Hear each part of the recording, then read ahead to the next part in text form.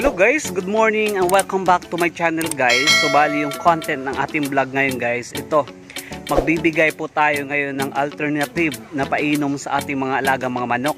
Kasi nga uh, mahal ngayon yung mga mga medicine na kung saan nabibili sa mga poultry supply katulad ng mga ambroxetil, mga premoxilin guys na ibibigay natin sa mga alaga nating manok. Kasi nga yung manok natin guys um, sinisipon kasi nang naging epekto yon sa sobrang init ng panahon ngayon. So nagkakaroon sila ng mga sipon. So ngayon yung gagawin natin guys um, magkaroon tayo ng alternative na painom sa kanila na kung saan hindi tayo magastusan talaga ng malaking pera.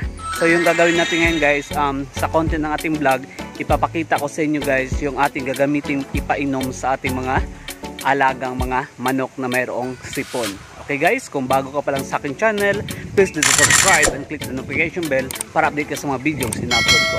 Ano pa initin natin? Tara guys, gawin na natin to.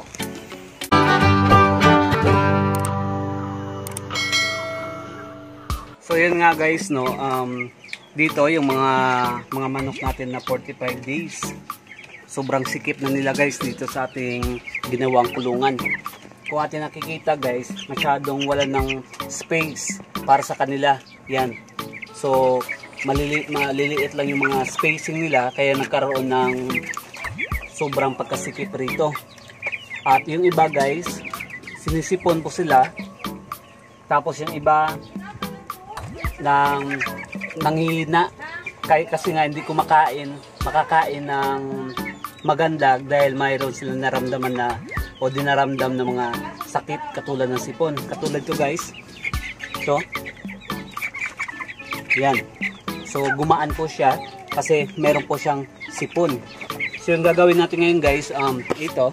Yung gagawin natin ngayon, um, kasi nga mahal yung mga mga medicine na ating nabibigay sa kanila natin nabibigay sa mga poultry supply yung gagawin na natin guys um, magbibigay tayo ngayon ng organic na painom sa kanila para kahit papano um, hindi tayo masyadong magastusan. At saka kapag less yung ating budget lang pwede natin itong gawin. Kasi nga yung ginagawa kong itong pang alternative na painom sa kanila guys um, subok ko na ito at ginagawa ko ito sa aking pagmamanok. Um, nagbibigay lang naman ako nito guys katulad niyan Batman Pro sa loob yung kulay pula. Nabibigay ko niyan kasi meron tayong mga budget pa na konti. Pero kung tayo nagtitipid katulad ko mukhang nagagastusan ako sa kanilang painom na tubig rito. So ang gagawin ko na lang gagawa na ako ng organic na painom na ibibigay ko sa kanila. Yung organic na gagawin ko painom guys um, sigurado makakatulong sa kanila para hindi lang mawala yung kanilang sipon kundi mabigyan pa ng ng additional na sustansya sa kanilang mga katawan. So yun guys. So yun. Um, tara guys. Um, kukuha na tayo ng kanilang na ibigay sa kanila na painom na para sa ating mga alagang mga manok. Okay? So yun guys, um, bale dalawang klase lang ng ating hahanapin na dahon guys. Dahon po yung ating hahanapin na pwede nating gawing tea at ipainom natin sa ating mga alaga mga manok. Dalawang dahon lang guys. At yun po guys yung hanapin natin dito sa dito sa malawak na bakura dito guys yun po ating hanaping mga dahon. So tara guys, samahan nyo ako maghanap ng dahon na yun guys. Okay?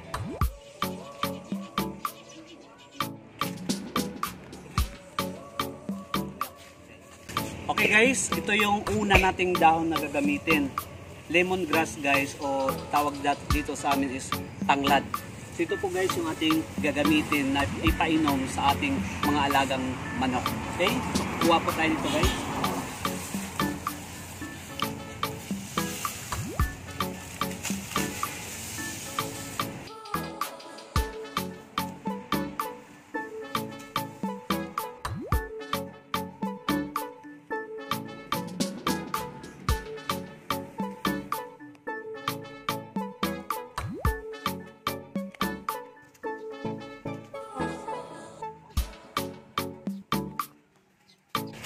So ito guys, ito guys yung pangalawang dahon na ating sinanap, yung malunggay. So ito lang guys yung dalawa nating gagamitin sa paggawa ng painom sa ating mga alagang mga manok na mayroong sipon. Okay? So hindi lang sipon guys yung tatanggalin niya kundi nagdagdag pa ito ng sustansya sa ating mga alagang mga manok. So kukuha po tayo ng mga dahon ng malunggay. Okay?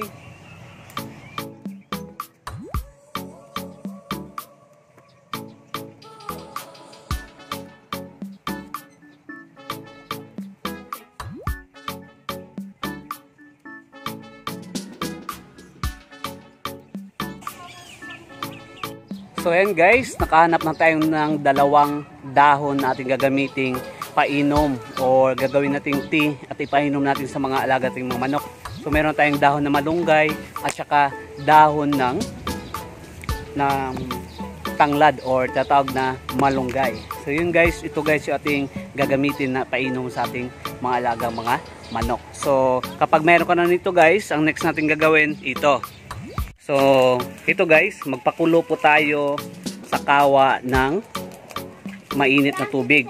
So, magpapakulo po tayo ngayon guys. Pwede rin natin ito guys na ilagay yung dahon dyan sa loob ng tubig at pwede rin ipabukal muna yung o pabukali muna yung tubig bago ilagay itong dahon. Pero sa aking case guys, um, isasama ko na agad itong mga dahon na ito guys dito sa sa kumukulong tubig. Okay?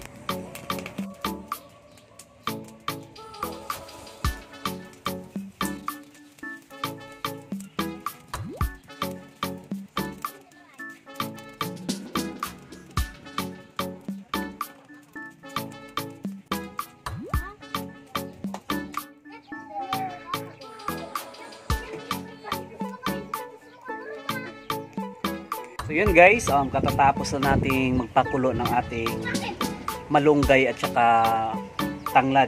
Um, so ngayon, yung next natin gagawin guys, um, bali isasali natin to sa balde para palamigin. Huwag po natin ito guys na ibigay sa ating mga manok na directly na mainit pa. Baka kasi imbis na makatulong tayo sa ating mga alaga manok, napadali pa yung kanilang buhay kapag ibinigay natin mainit pa.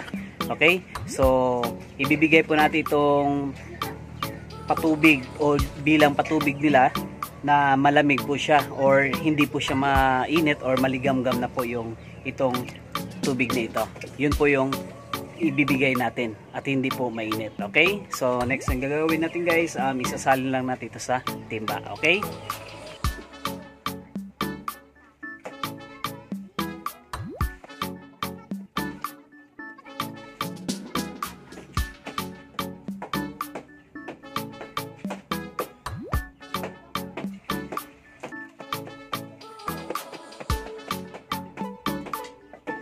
So ayun guys, um, ito yung ating ginawang malunggay at saka lemongrass or tanglad. Ito na po siya guys. Um, hindi na siya ma hindi na siya mainit at saka yung amoy niya guys napakabango. So ngayon yung gagawin natin ilalagay natin dito guys sa dalawang lagay ng tubigan.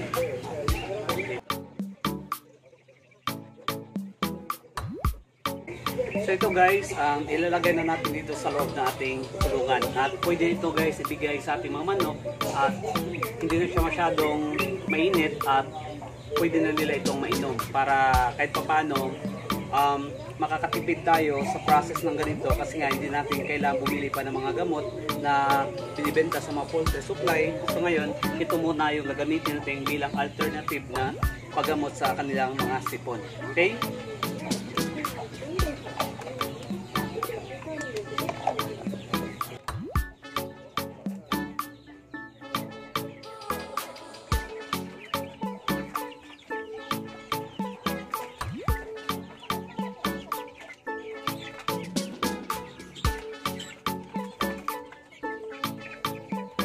So yun guys, um, nailagay na natin sa loob guys yung kanilang, yung ating ginawa kaninang patubig para sa ating mga lagang mga manok. So yan, yung malunggay tsaka tanglad. Yan. So yan po guys nilagay, naka-elevate po siya para hindi po masyadong madaling maiputan ng mga manok. So yan guys, ang hayaan ko lang dyan, silang uminom. At saka meron pa tayo dito natira pang mga, ito, yung sobra na patubig natin. So ang gagawin natin dyan, pag naubos na yan guys yung mga laman yan, idagdag natin yung natira na yon. um, gaga- gaw- gagawin ko ito guys or gawin nyo ito ng 7 days. Ibig sabihin 1 week yung gagawin yung ganito. Kasi maganda din kasi itong um, ganitong patubig sa kanila, sa kanila na gawa natin bilang alter- alternative na painom sa kanila. Um, mas maganda ito kasi na-experience ko yung ganitong pamamaraan ng pagbibigay ng alter- alternative na patubig sa kanila. At saka hindi lang maganda, kundi um, iwas pa sa magastos na budget na binibili natin na medicine sa mga poultry supply. So, nakakapag nakapag tipid tayo at tapos ah, hindi pa natin nabili ito at nakukuha lang natin sa mga paligid natin na dito sa ating mga kapaligiran yung ganitong pamaraan ng pagbigay na paggawa ng ganitong patubig. Okay? So ating na-observe guys, yung ating mga manok dito, um, sinisipon po sila. So, ito, bibigyan po natin sila ng alter- alternative na patubig.